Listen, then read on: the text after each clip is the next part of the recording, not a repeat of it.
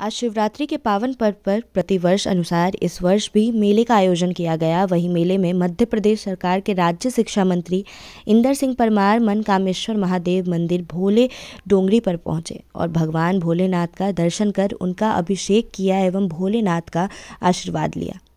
वहीं मंत्री जी ने क्षेत्र की जनता को साधुवाद करते हुए भोले डोंगरी को पर्यटन स्थल बनाने का कहा गया। मंत्री इंदर सिंह परमार ने कहा कि मैंने आज महाकाल बाबा से कामना करता हूँ कि हमारे क्षेत्र की जनता को खुशहाल रखें। वहीं शिक्षा मंत्री ने भोले डोंगरी को पर्यटन स्थल बनाने की बात कही। मंत्री परमार ने कहा कि हमने राज्य सरकार को भोले डोंगरी का प्रस्ताव बनाकर भेज दिया है और जल्द ही यह पर्यटन स्थल बन जाएगा।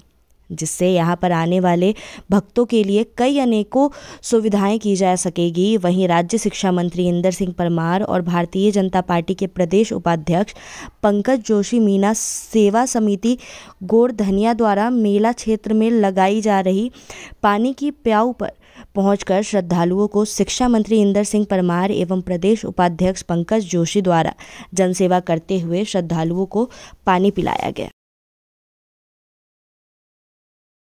पर मैं सभी श्रद्धालुओं को अपनी ओर से शुभकामना देता हूँ, बधाई देता हूँ। भगवान महाकालेश्वर हम सब पर कृपा बनाए रखें। हमारे क्षेत्र में हमारे प्रदेश में सुख समृद्धि रहे।